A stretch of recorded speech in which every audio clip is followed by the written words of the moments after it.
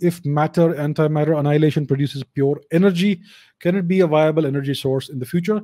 Theoretically yes. It could be a very good very powerful and very efficient energy source. It would have uh, no pollution. It would just produce pure energy. The so yes theoretically hypothetically it is a very viable energy source in the future. A very small amount of uh, matter antimatter could uh, give us a very large amount of energy.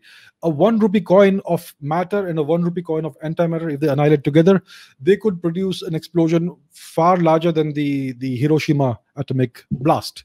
So that's the kind of energy you have in such such small uh, so, in such small amounts of matter and antimatter so it can be a very useful and very uh, very powerful source of energy in the future.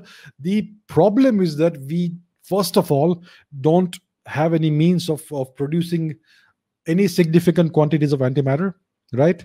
The little antimatter we, we produce is mostly done in uh, particle accelerators and colliders and we don't have any proper way of storing it because it is so hard to store. The moment it interacts with anything any ordinary matter it essentially explodes and gives out photons and gamma rays and and x-rays. So that is the thing. So we have to keep it in a pure vacuum in a perfect vacuum and a perfect vacuum doesn't even exist in interstellar space.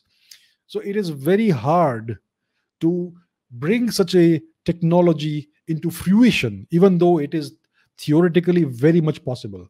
So it is it, it is something that's very challenging and i don't see it happening in the next 100 years at least but who knows? Let's see. So it's a, it is potentially a great form of energy great source of energy but as of now we are nowhere near achieving uh, even the first baby steps in the direction